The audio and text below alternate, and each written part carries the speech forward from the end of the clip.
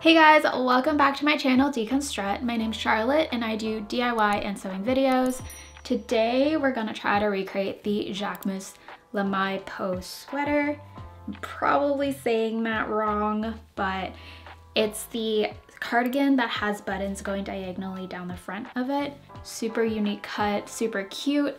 I wish I could buy one, but it's all sold out in the white color, which was on SSENSE for a while, um, I think last season, but completely sold out, can't find it anywhere. And I also just don't have $310 or whatever the resale price is now. So I'm gonna try to recreate it out of this oversized H&M knit sweater that I have. You can see it's a pretty loose knit, very drapey, very oversized, as you can see in the try on clip. I'm basically drowning in it. The sleeves are way too long, the body's way too wide, but it has a good drape and it's still a knit fabric, so hopefully it'll translate well into the Jacquemus sweater. So that's what I'm gonna attempt today. I'm gonna try to get it done in just one day because I wanna shoot it tomorrow now that the weather is nice. Um, so yeah, wish me luck and let's get started. First things first, I'm gonna disassemble the sweater. I wanna take apart the sleeves from the torso and separate the front from the back so then I can cut out my new pattern pieces. I didn't plan a pattern for this, so I'm using another shirt to help measure. I'm just winging it really and hoping that it turns out well. So this is the length that I want the top to be and I know it has to go on a diagonal. Fold my top on over like so so it's on a 45 degree angle and then I'm just gonna cut it along this line right here. This is kind of scary because once I do this, I can't go back.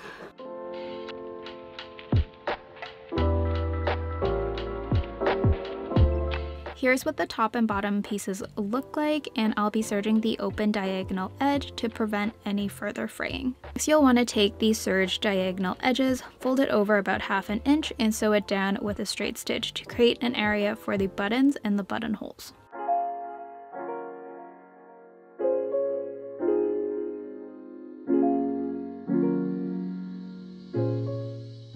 So this is what the edge should look like with it folded over and sewn in. And you just want to do the same thing on the other diagonal side. This is what it should look like with the two diagonal edges finished up. At the shoulder seam, you'll want to overlap the two edges and stitch it down to form a one clean shoulder seam at the top. I think before we move on to the buttonholes, I'm actually just gonna like baste the diagonal opening together. I wanna finish off the sleeves, um, any of the ribbing and stuff like that with my walking foot on my sewing machine right now. I'm just too lazy to switch it on and off with the buttonhole foot. So we're gonna do that first. We'll come back and do the buttons as a last step. Okay, let's go.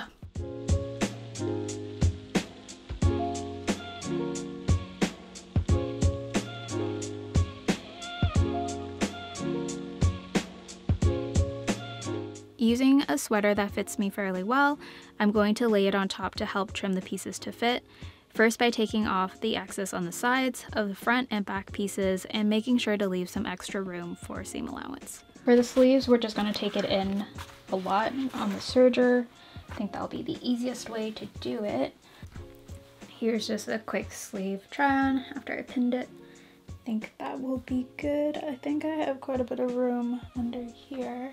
The sleeves might actually be a little bit short now that I'm pulling the shoulders up a bit further, but that'll be okay. I can get my hand in and out of it fairly easily, so I'm just gonna take it to the serger and then just serge off all this excess. So for the sleeves, I ended up extending them with some leftover fabric. I forgot to film it, but you'll be able to see it in the final try on.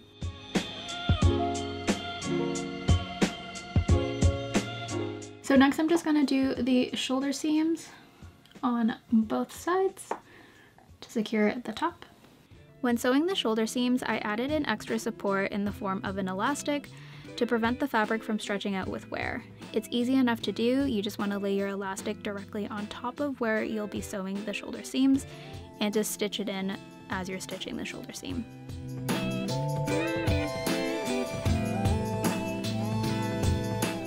Alright, shoulder seams are done. Took a while. So I already pinned this armhole in you can see I tucked it in and we're just gonna sew along this line.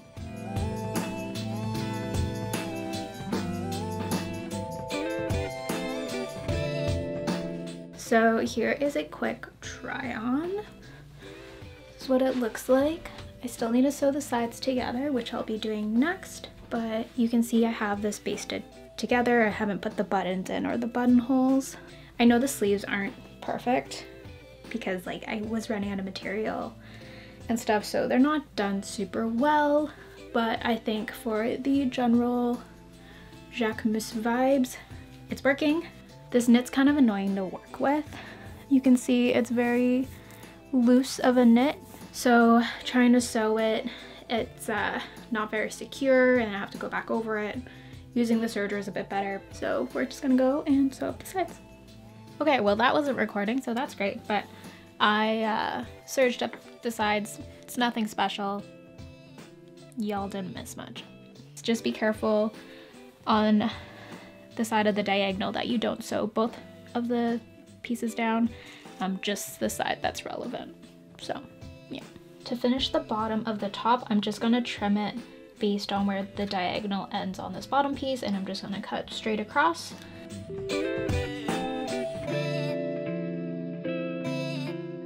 For the corner opening right here, we actually want to fold this part in a bit so it creates this V shape. On the end right here, this is where I marked it for where my buttonhole will be. So I'm just gonna leave a little bit of room right about here. So to finish off all our raw edges, all I'm gonna do is serge everything here, and then I'm gonna tuck them under and then hand tack it down. The bottom is all hemmed. I'm just gonna hand stitch it a bit later since the final step is here. We're back to doing the buttonholes. If your machine has an automatic setting, that's the easiest. If not, you could painstakingly hand stitch the buttonholes as well. That's also another option um, or you can manually do them depending on your machine. So my machine automatically does them. I'm just gonna do it on a tester piece of fabric, which is gonna be this little piece that I have already and test it out and then do it on my top. I only found four of these in my stash, so it's perfect for this tutorial as we only need four. So I'm gonna lay these out approximately like so. And I'm gonna measure how far we need each button to be. I think they'll probably have to go more like this. Okay, I revised it a little bit. I ended up making this four and a half inches in between each button. The tricky part is to do the buttonholes.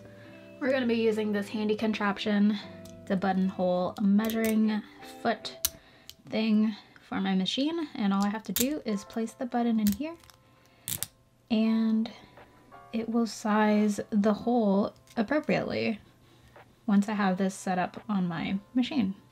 Taking a washable marker. I'm going to mark where I need the buttonholes to be.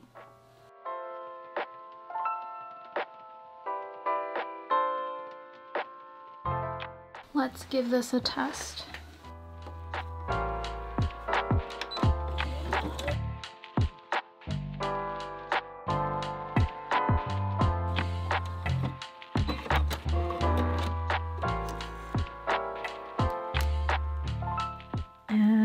Want to test it. And it's a little bit tight because I did make it smaller. So I might make it just a smidge bigger. Okay, the result was pretty good on the tested piece. Now that that's been checked, I can do it on my real piece.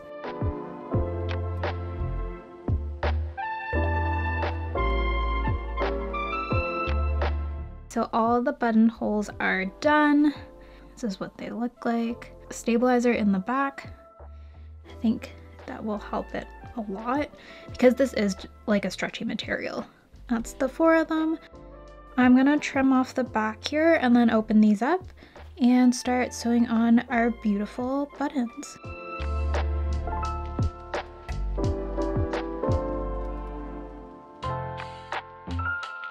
Next I'm just gonna take needle and thread and hand stitch these buttons.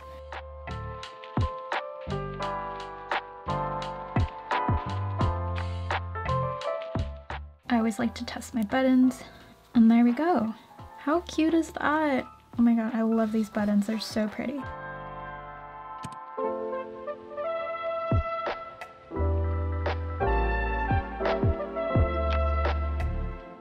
So all that's left and remaining is this serged hemline. What I'm gonna do is fold it on to the inside and I'm just gonna take needle and thread and hand stitch it for a nice clean finish.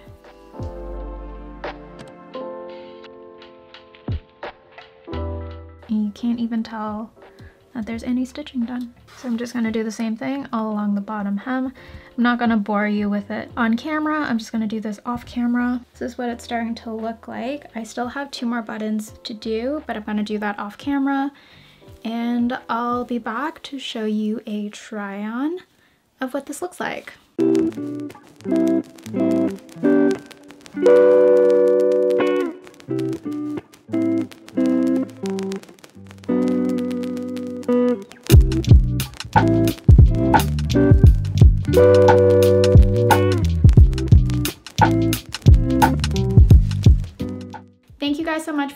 Hope you enjoyed the tutorial. If you liked it, please give it a thumbs up and consider subscribing down below. And if you recreate this sweater or any of my other DIYs, please use the hashtag deconstrut so I can find all your lovely recreations. I love what you guys make. And I'll see you guys next time in another video. Bye!